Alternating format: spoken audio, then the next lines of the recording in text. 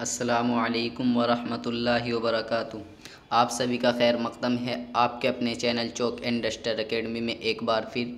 और आज की इस वीडियो में हम आपको, आपके लिए लेकर आए हैं एक न्यू प्रैक्टिस सेट सब्जेक्टिव जो अलीगढ़ मुस्लिम यूनिवर्सिटी और जामिया मिल्ल इस्लामिया दोनों यूनिवर्सिटी के लिए जो है कार आमंद रहेगा इन जो तलबा व तालिबात एम उर्दू के एंट्रेंस एग्ज़ाम की प्रिपरेशन कर रहे हैं। तो उनको इसमें पता लग जाएगा कि सब्जेक्टिव आपको कितना लिखना है और कैसे लिखना है।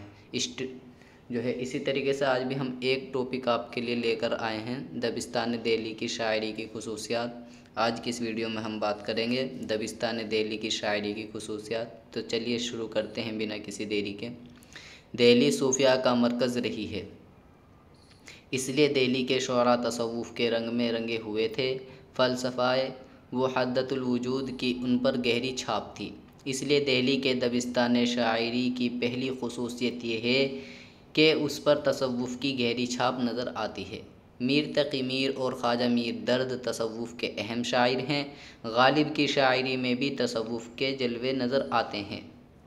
मीर तकी मीर फरमाते हैं, नाहक हम मजबूरों पर ये तोहमत है मुख्तारी की। चाहते हैं सो आप करें हैं हमको अब बदनाम किया। ख्वाजा मीर दर्द का इरशाद है।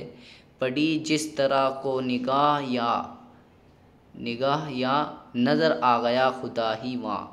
ये है गो के आँखों की पुतलियाँ, मेरे दिल में जाए बता नहीं। गालिब का एक शेर है, ना था कुछ तो खुदा था, कुछ ना होता तो खुदा होता। डुबोया मुझको होने ने ना होता, मैं तो क्या होता? शराय दहली के कलाम में इश्क व आशिकी का ज़िक्र खूब मिलता है, लेकिन पाकिजगी का दामन हाथ से नहीं छूटता। यहाँ विशाल से ज़्यादा हिजर की तलब नज़र आती है।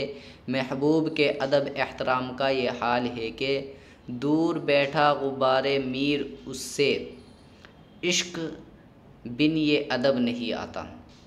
यहाँ हसन इश्क के ख़ारजी मामला का नहीं दाखिली वारदात का बयान मिलता है। शोखी और ज़बान की रंगीनी यहाँ कम है। ख़यालात सादा हैं तो इनके इजहार का अंदाज भी सादा है। तसना और बनावट से गुरेज़ इस दबिस्तान की अहम खसूसियत है। तशबीहात व इस्तारात में दिलकशी है, मगर सादगी का दामन यहाँ भी हाथ से नहीं छूटता।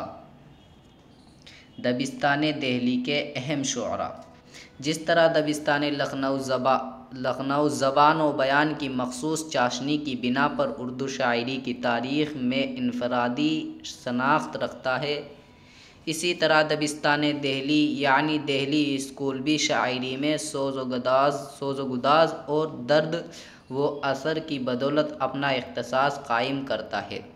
दिल्ली के बसने और उजड़ने का सिलसिला सदियों तक जारी रहा, जिसके सबब वहाँ से ताल्लुक़ रखने वाले शुरा जहनी अजियतों से मुसलसल दो चार रहे। जब इंसान को अपना वजूद ख़तरे में दिखाई दे तो वो आसाइशों की जानब किसी भी तरह रागब नहीं हो सकता। ऐश व इशरत के तमाम तर वसाइल उसके लिए बेमाना हो जाते हैं, और वो फितरी तौर पर मादी तसव्वुफ़ के दामन में पना लेने के लिए मजबूर हो जाता है। फ़लसफ़ा मादियत के बजाय रूहानियत का तस्वुर उसके जहन और मिजाज से हम आहंग हो जाता है। यही वजह है कि दबिस्तान दिल्ली के शुरा ने ज़िंदगी की आसाइश और ऐश व इशरत के उन पहलुओं को पेश करने पर जो त, पर तवज्जो नहीं दी, जो दबिस्तान लखनऊ की खासियत थी। लखनवी शुरा ने ज़िंदगी के जिस तस्वुर को अपनी शायरी में पेश किया, वो बर रास्त उनके मुशाहे का हिस्सा बनी थी। ऐश व इशरत के माहौल में रहते हुए अगर वो ज़िंदगी की अफसरदगी, बेचारगी, लाहासिली और गम व अंदूद, गम व अंदोह का बयान करते तो इसमें तसना का गुमान गुज़रता। और वो शायरी फितरी हसन से महरूम भी होती। दहलवी शुरा के कलाम को भी इसी तनाज, तनाजुर में, इसी तनाजुर में देखना चाहिए, जब वहाँ के शुरा ने ज़िंदगी में कदम कदम पर परेशानियों और मुसीबतों का सामना किया तो ये कैसे मुमकिन था कि वो अपनी शायरी में दर्द व गम के बजाय ऐशो इशरत का मुजाहरा करते।